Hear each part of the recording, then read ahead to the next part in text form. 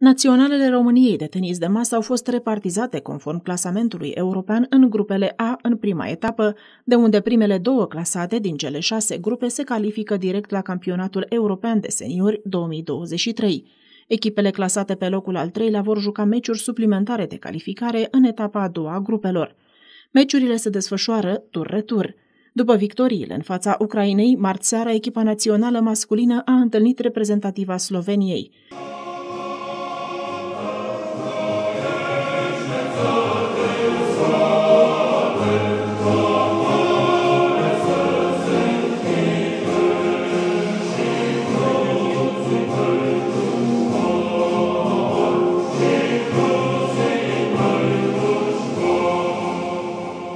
La doar 16 ani, Iulian Chirița a debutat într-un meci oficial al Naționalei de Seniori. Mușcedanul a intrat la masa de joc la scorul de 1-0 pentru România, punct adus de Cristian Pletea, în meciul împotriva lui Darko Iorgic, numărul 10 mondial. Iulian nu a dezamăgit reușind să se impună 3-2 în fața unui adversar mai experimentat,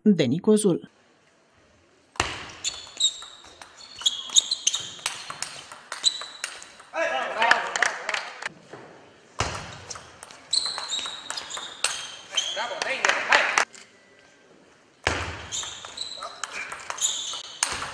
Bravo!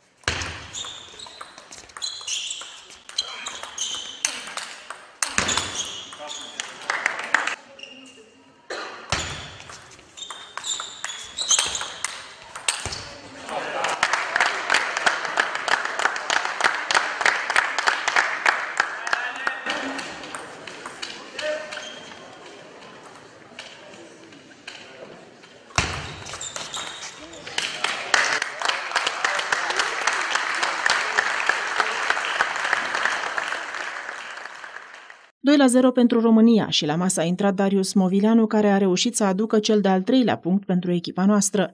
Astfel, în urma victoriilor cu Ucraina și a celei din deplasare cu Slovenia, naționala masculină s-a calificat la turneul final de anul următor, care se va desfășura în Suedia. În același timp, Iulian Chirița a demonstrat că poate fi un om de bază al echipei naționale de seniori, în ciuda vârstei de doar 16 ani.